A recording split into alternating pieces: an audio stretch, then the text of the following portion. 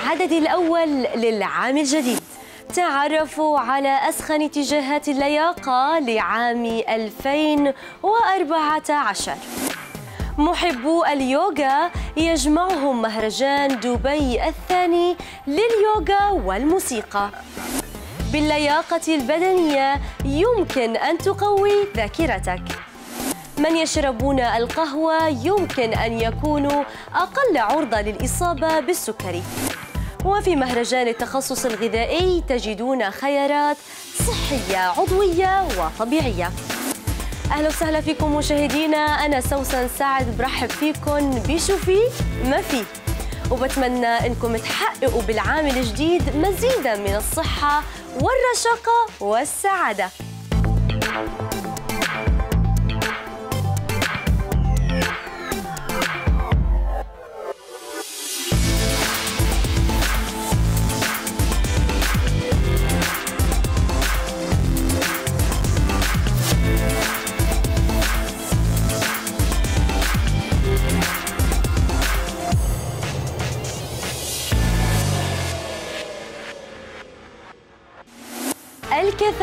العالية لفواصل التمارين هي المرشحة لأن تكون هذا العام محط الأنظار والأكثر جلباً للاهتمام في عالم اللياقة.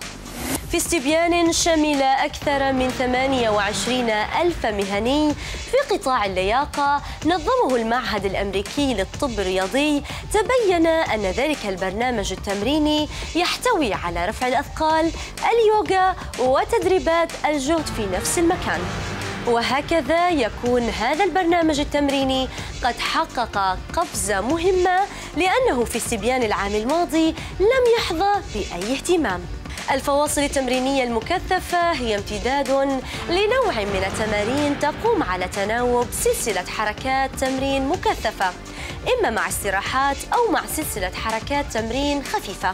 لنعرف أكثر عن هذا الاتجاه الجديد في التمارين اتصلنا بكبير المدربين في نادي ترايب Mad High intensity interval training is very good because if you're limited to time, it can be beneficial for someone who works long hours, only has time in their lunch break to kind of get a workout in, um, and it's effective as well. So instead of standing on the treadmill for 20 minutes, doing 15 minutes at um, interval training uh, can burn more calories. I would always recommend a beginner to see a trainer for, for help um, for various reasons. أما إذا تساءلنا عن أنواع التمارين العشرة الأكثر رواجاً وجلباً للاهتمام في عام 2014 فسنجد أنها ستتمثل في رفع الأثقال، اللياقة التعليمية للمحترفين، تمارين الجهد، تمارين إنقاص الوزن، التمرين الخصوصي، برامج لياقة لكبار السن، اللياقة العملية، وتمرين خاص مع مجموعة واليوغا. تهوون مشاهدة الألعاب أو التمارين الرياضية؟ جميل. يظهر أنه حتى بالمشاهدة فقط يمكن أن تكون لياقتكم أحسن قليلا. هذا ما أظهرته دراسة حديثة. فبمشاهدة سباق في العدو مثلا والتفاعل معه يرفع من وتيرة دقات القلب. ومن دفق الدم تحت الجلد وتصبب العرق. هذه الاستجابات الفسيولوجية تدل على زيادة نشاط العصب الودي وهو ما يحصل عادة في التمرين الرياضي. الباحثون يرون في هذا الاستنتاج تطورا مهما لأنه لأول مرة يتم اكتشاف زيادة ارتفاع نشاط عضلة العصب الودي فقط من خلال مشاهدة نشاط بدني. كما لو كنتم أنتم من يقومون بذلك النشاط. برغم أن التغييرات كانت طفيفة فإن الخبراء يؤكدون أن لذلك علاقة وطيدة بين التمرين أو النشاط الرياضي الذي تمت مشاهدته وبين الاستجابات الفسيولوجية التي حدثت. العمل على تقوية الذاكرة هو بلا شك سبب جيد آخر للقيام بالتمارين فقد بين دراسة حديثة أنه عندما نكون في حالة صحية جيدة يمكن أن يساعد ذلك في الحفاظ على قدرات الفكر والذاكرة لدينا. الباحثون توصلوا إلى هذا الترابط بعدما تابعوا مشاركين في برامج لياقة بدنية وضبطوا عدد الأخطاء التي قاموا بها خلال سلسلة من الاختبارات المعرفية على مدى فترة زمنية معينة. لقد وجدوا على سبيل المثال أن فريقا في الثمانين من العمر لياقتهم البدنية أحسن مرتين من لياقة أقرانهم. كانت الأخطاء في إجاباتهم وردود أفعالهم ضمن اختبار الذاكرة والقدرة على التركيز هي 25% أقل من أقرانهم. كارينغتون ويندل من المعهد الوطني عن المتقدمين في السن بالولايات المتحدة صرح أن هذه دراسة بينت كيف أن لياقة الشرايين والقلب في مرحلة عمرية معينة يمكن أن تنبئ بمدى جودة عمل الذاكرة في المستقبل. في الواقع هناك أكثر من دراسة واحدة أشارت إلى العلاقة بين التمرين البدني وبين الارتفاع أو الانخفاض المعرفي في السن المتقدمة. دراسات سابقة كانت تقيس درجة اللياقة البدنية بسؤال الأشخاص أن يتذكروا كم كانوا يتدربون في السابق هذا الاكتشاف الجديد يقوي الاعتقاد بأن التمرين ليس فقط مفيدا للجسم بل للعقل أيضا هل اقتنعتم الآن أن من علمونا أن العقل السليم في الجسم السليم كانوا على حق؟ مهرجان دبي الثاني لليوغا والموسيقى أقيم في فندق ويستن مينا السياحي كانت راشل على عين المكان هناك واستطلعت الأجواء. راين نوهوندرا مؤسس المهرجان حدث راشل عن الدافع لبعث هذا المهرجان وعن جمهور اليوغا في دبي. Ryan, tell me about your inspiration for the event. Well, uh, Rachel, the inspiration for the event was uh, a lot of things. I'm a musician, and when I was practicing yoga, I felt that music and yoga both go together because they're both very emotional. And I thought, why not just put together something for the whole community where I can do my yoga, my music, and build something really beautiful in Dubai. And can you tell me about the community here in Dubai? Uh, well, from, from my experience with the community, we have a lot of studios, a lot of people who practice yoga, a lot of people who like wellness, healing, and Dubai being a place where most of the people living here are expats, so they miss their home. They're always searching for something, searching for a connection, and we try to build that connection with them. You know, and the yoga community in Dubai is, is well spread all the way from the parks where they practice onto the studios. So it's a big community. أنجيلا بيشاين مدربة يوغا قدمت خصيصا من أمريكا ألقت الضوء على بعض البرامج التي تم إعدادها للمشاركين Basically, we wanted the festival to be open to everyone. So, what we did was we planned yoga classes for beginners, for intermediate and advanced students, and then also for those who know nothing about yoga at all and just want to hear about it. Maybe they don't want to practice it. So, we have planned classes, and then we also have stage forums where people just come and, and ask questions about different types of yoga. Um, we also uh, offer childcare uh, a company called Little Miracles takes care of our kids all day long. So those people that have families can feel free to come here and be in a safe environment, knowing that their child is right on premises, enjoying some of the same things they do. And tell me more about the yoga classes. What different types of yoga do you have? Well, our goal being an international festival is to bring international teachers here. So the types of yoga, we have 52 types of yoga that's offered here. So anything you'd ever want to know, Hatha yoga, Shivananda yoga, wall yoga.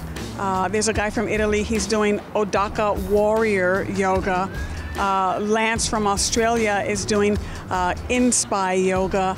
Uh, we have Candice from Germany doing her type of yoga. So there are so many varieties, but there are also simple vinyasa classes. So we have everything, uh, and of course, I teach unusual yoga. And what is the name of the yoga that you teach? It's called Bhakti Asana, and it's the type of yoga where you learn the poses, and then each day on your own, at home or in the park, you can choose what poses suit you.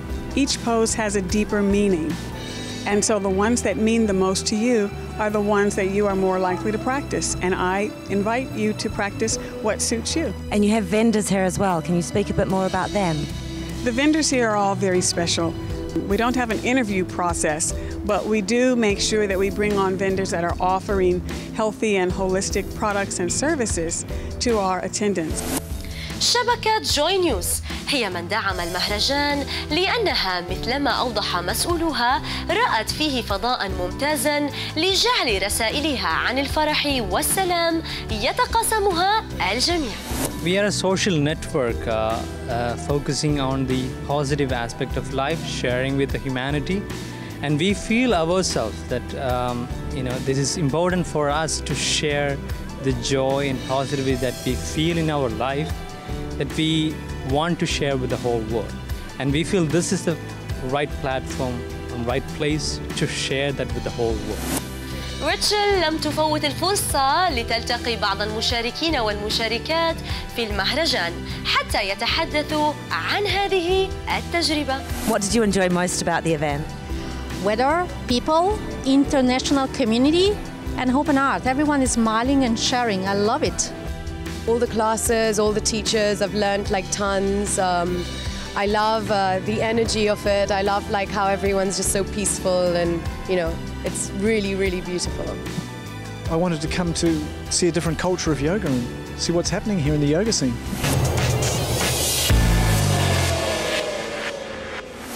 مشاهدينا بعد الفاصل سنكون مع العناوين التالية أن يكون مدرب اللياقة مدربا معتمدا أمر ضروري.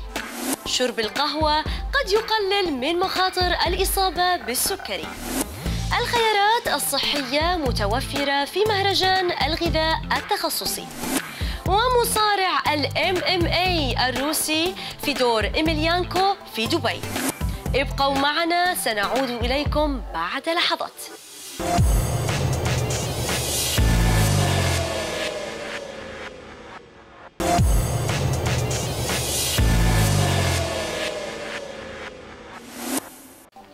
أهلا وسهلا فيكم من جديد مشاهدينا. بشوفي ما في. الآن الثالث على لائحة اتجاهات اللياقة البدنية في 2014 بحسب المعهد الأمريكي للطب الرياضي هو برنامج لياقة التعليم والخبرة للمحترفين. ومن هنا تأتي أهمية أن يكون مدرب اللياقة مدربا معتمدا وذا ترخيص معترف به.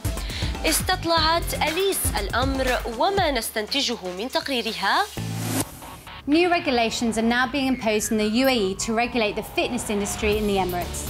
As part of Dubai Sports Authority's initiative, all fitness trainers who opt to coach students must have a certification and they have to be registered exercise professionals. They must meet specific standards, hold recognised qualifications, and follow a code of ethics. Residents will be able to check online to see if their trainer is registered. But how important is it for your trainer to really be qualified? Here are some of the reasons. Qualification for a personal trainer is very important.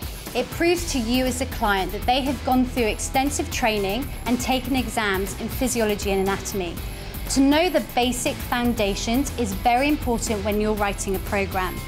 It also proves that they have had good knowledge and good teaching on how to instruct. Someone can know so much about muscles, physiology, but they need to know how to coordinate a program that's done safely for you. Being a member of REPS also proves that your personal trainer's qualifications are authentic. It also helps them keep up their CPD work, as over the years, science changes, more science is recognised, so they'll keep up to date on all the latest research. This, the whole package, is very important. It will help you prevent injuries and also help you attain your goals. So next time you get a trainer, make sure they're qualified. I'm Alice, and that's What's Up.